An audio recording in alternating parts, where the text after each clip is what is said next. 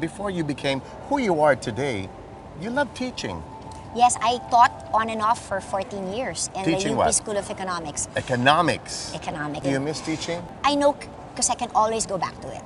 So nothing beats after my stint in government. I'll go back to teaching with all this knowledge on how to. It must be a joy to see, like now that we, the position that you hold now, when you actually see students that studied with you. Yes, And they- they're. Do you have you seen anyone? Yes, they've know, come up to now me, in ec- economics?" Yes, I, ma'am, I was your student. Wow. I feel so old because I because I taught right after I took my masters. I, I, I immediately taught, so I was about 24, I think, or 25 when Mm-hmm. I started teaching. So you were a young teacher.